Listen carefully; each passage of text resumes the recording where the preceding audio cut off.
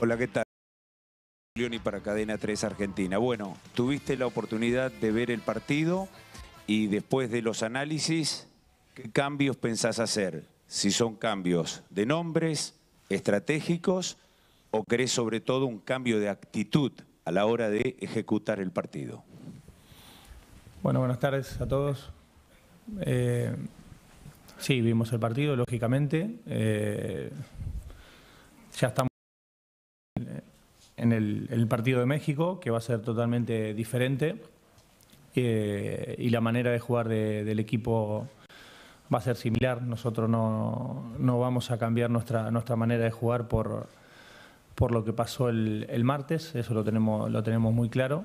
Eh, hay que pasar página como lo hicimos y pensar solamente en que vamos a ganar con México y, y nada tenemos pensado jugar de la, de la misma manera. Los intérpretes, los jugadores, hoy tenemos el último entrenamiento y lo, los vamos a terminar definiendo, pero, pero la manera de jugar es, la misma. Lionel, acá. Buenos días, Gastón Edul, estamos en vivo por Teis Sports. Em, quiero preguntarte algo que quizás también la gente se pregunta y es cómo ves al grupo anímicamente después de esa derrota inesperada, cómo van a encarar el partido, cómo lo sentiste hoy que ya pasaron tres días y recién hablaba de que no, no que, le fue también hasta el partido el otro día. Pero los nombres puntualmente, ¿puede cambiar algún, algo del equipo o tampoco vas a cambiar los nombres? Gracias.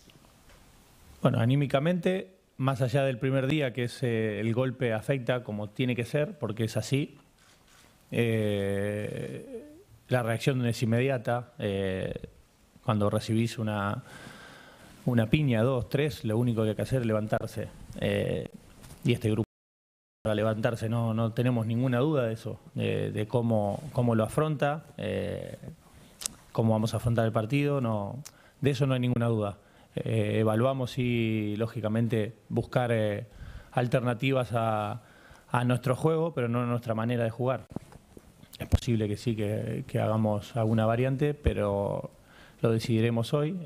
recién ayer juntamos a todo el grupo por jugado tuvieron días de recuperación, así que hoy va a ser el primer día que vamos a tener eh, definitivamente a todos y ahí definiremos el equipo.